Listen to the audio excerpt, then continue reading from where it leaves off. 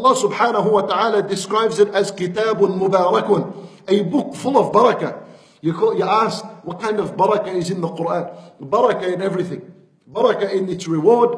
Yani reading Qul Allahu Ahad is equal to reading a third of the Quran in reward. Barakah in the family, barakah in the wife, barakah in the money, barakah in the children. Barakah in your health, barakah in everything. Allah Azza wa Jal described it as such. كتاب أنزلناه إليك مبارك. Subhanallah. Yani most of the problems in our life is because Quran is not part of our life. Most of the problems in our life is because there's no Quran in your life. Well, Quran is a protection. It's a protection. Yani from diseases, not only that, but even from what affects the people, which is from the evil eye, or the sihr, or al hasad, and all of that. Al Quran is a protection for this. I end with one story. One story, and I finish with this. There was, uh, there was a woman. And this woman, yani, of course, she was rich, she was beautiful, and this is, this is a recent story, it's true, it's, yani, it happened in uh, one of the Arab countries. She's still alive, but yani, subhanAllah, the Sheikh Nasim will see for you later. Anyway, for this woman, she's alive, and this is her case, and she wanted to get married. For someone like her, like her, not yani, like Nasim, someone like her in the same uh, rank, uh, he was also yani, a person of money, he was a person of money and a person of looks and so on. Anyway, he approached the father and he says, I approach and I want to marry your daughter. I ask for her hand.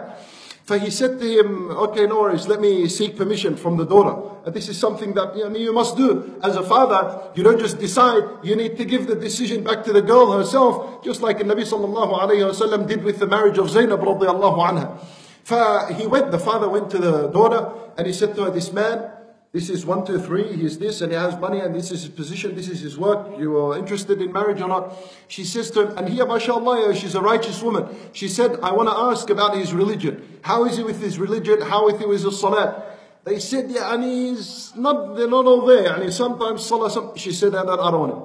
Khalas, I don't want him. The father said, Wallahi, ya akhi, yani, there's no, there's no part for you in our family. She doesn't want you because of your deed. He says, Allah, how? Yani, how does someone say no to me? I'm this and I'm that. Wallah, I'm going to get married to her no matter what. For he went to magicians. He went to some magicians. And he said to them the story, this is my story and I need to get married to her and find me a solution. They said to him, Allah, we can find you a solution, but it's going to cost you money. He says, money, Allah, take whatever you want. Find me a solution. They said, Khalas, come tomorrow, your application will be ready and finished. He went, he came the next day, and the magician said, Allah, your case was too heavy for me. You need to go the, the other expert. There's another expert magician uh, in another city. Go to him and probably he can solve your case. So he went to it and he said to him, this is my case and so on. And uh, someone else uh, lower in your rank, he, he basically, yani, he directed me to you. He said, you have more power than him and please help in my situation. I need this woman.